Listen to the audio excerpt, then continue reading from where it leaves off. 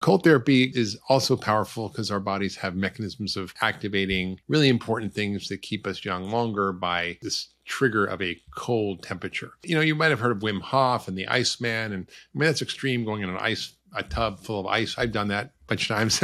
I, I do a, a, little bit warmer, like 40 degrees, not like 30. That can be a very powerful tool for healing your body from pain and injury, but also it boosts endorphins. It strengthens your immune system. It activates brown fat, which is your metabolic engine. It improves circulation. It helps reset your autonomic nervous system. So really, really beneficial for you. So I'd encourage you to do cold water swimming, cold showers. You can just do a cold shower in the morning. I do that regularly. Better than coffee. Just jump in the morning, go in an ice cold shower for two minutes, hit your timer timer on your phone or watch and just you know, boom, you're you're already doing cold therapy. It's super easy. And of course, there's cryotherapy where you go into a whole unit that's like minus 200 and something degrees Fahrenheit. That's uh, also very very helpful, but it's it's hard to get one of those. So just just start with a cold shower or even a cold bath after steamer sauna.